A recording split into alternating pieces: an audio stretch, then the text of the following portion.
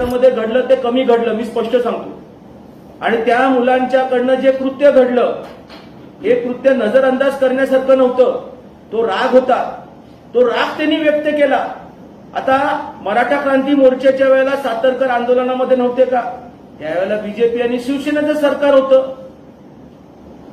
सातारच्या पुलाच्या खाली जी काय दगडी गोळा करून आदल्या रात्री ठेवण्यात आली होती आणि दुसऱ्या दिवशी दुसऱ्या दिवशी जी दगडफेक झाली विसरलंय सातारकर. ती दगडी कुणी आणली होती?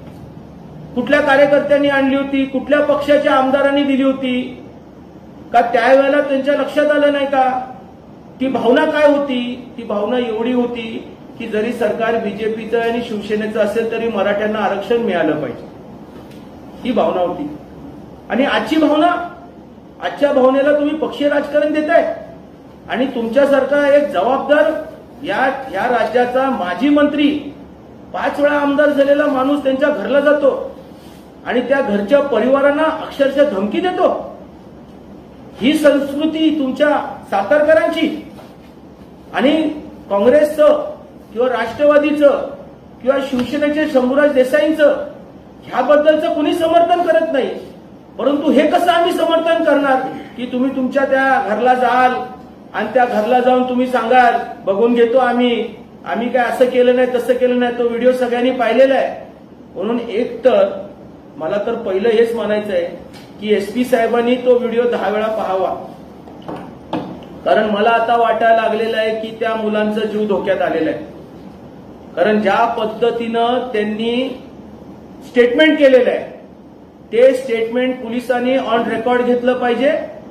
आणि त्या मुलांना ताबडतोब संरक्षण दिलं पाहिजे. त्यांच्या परिवारामधून कुणी एक व्यक्ती जर त्या ठिकाणी तक्रार द्यायला आली तर ती तक्रार एसपी साहेबांनी घेतली पाहिजे. आणि जर एसपी साहेबांच्याकडे जर कुणी तक्रार दिली नसेल तर पोलिसांनी सुमोटो त्या व्हिडिओचा आधार धरून ती तक्रार दाखल केली पाहिजे. कारण उद्या त्या मुलाच्या केसाला जर धक्का लागला तर मग काय मराठा समाजाची ताकद आहे? हे आम्ही त्या व्यक्तींना त्या ठिकाणी दाखवून देऊ. हे आंदोलन जे झालं ते कुठल्या पक्षाला दृष्टिकोन हा? तीन पक्ष सोडून एकाच पक्षाचं तोडलं असतं तर आम्ही समजू शकलो असतो जे त्यांनी सांगितलं.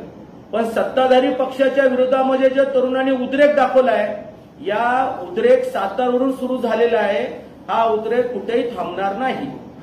त्याच्यामुळे ही पहिली भूमिका आहे. दुसरी भूमिका सन्माननीय आमदारांनी म्हणजे माजी आमदार नंतर विधान परिषदेचे सदस्य. त्यांनी जे एकशे दोन वा घटना दुरुस्ती केली आता एक छोटासा प्रश्न. ज्या वेळेला एकशे दोनवी घटना दुरुस्ती झाल्यानंतर राज्याचे तत्कालीन मुख्यमंत्री देवेंद्र फडणवीस साहेबांनी आरक्षण जाहीर केलं सभागृहामध्ये. त्या सभागृहामध्ये ते सदस्य होते. मग त्यावेळेला त्यांची ट्यूबलाईट नाही पेटली का? त्यावेळेला विरोधी पक्षामध्ये काँग्रेस आणि राष्ट्रवादी होती. सत्तेधारीमध्ये बीजेपी आणि सेना होती.